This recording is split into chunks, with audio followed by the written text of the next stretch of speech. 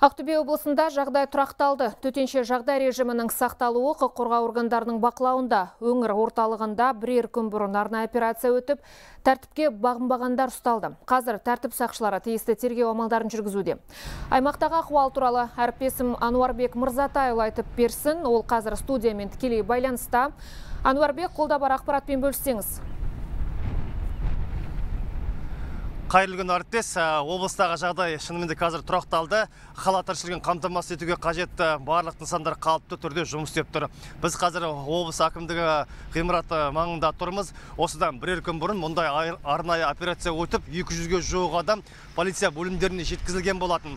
Заңсыздыққа жол беріп жаппай тәртіпсіздікке қатысушылар мен арандатушылар енді қылмыстық және әкімшілік жауапкершілікке тартылатын болады. Ал әкімдік ғимаратына баса көктеп кіргендер кейбір бөлмелерді бүлдіріп есік терезелерін және жиһаз бен өзге де бұйымдарды қиратқан. Енді таяу уақытта келтірілген шығын көлемі де белгілі болады.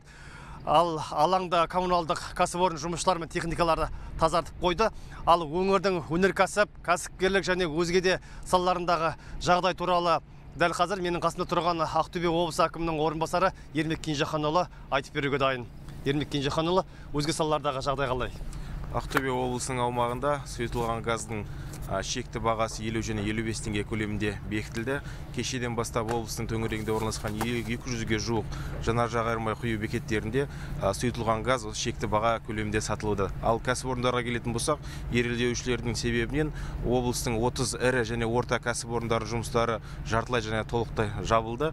Жұмысшылармен келіссөздер нәтижесінде олардың жалақылары 10 және 50 пайыз төңірегінде көтеріліп қазіргі таңда жұмысшылардың барлығы өздерінің орындарына қайтып кәсіпорындардың жұмысы штаттық режимде жалғасуда. Ал енді орта және кіші кәсіпкерлікке келетін болсақ оларда бізде құқық бұзушылықтар тіркелген жоқ біреудің мүлкін ұрлау тонау фактілері болған жоқ олар штаттық түрде өздерінің жұмыстарын жалғастыруда. Рахмет сұхбатыңызға. Айта кетейік қазіргі таңда ақтөбе облысында төтенше жағдай режимінің сақталуы полиция және өзге де күшті құрылымдардың бақылауында тұр. Азық түлік дүкендері қалыпты түрде жұмыс істеп жатыр. Қоғамдық көлік қозғалысы кешелі бері қалыпқа келтірілді. Тек интернет байланысы әзірге қолжетімсіз болып тұр. Менде бар ақпарат осы. Марал. Рахмет. Ақтөбедегі жағдайды баяндаған әріптесім әнуарбек мырзатайұлы. Хабарымызды жалғастырамыз.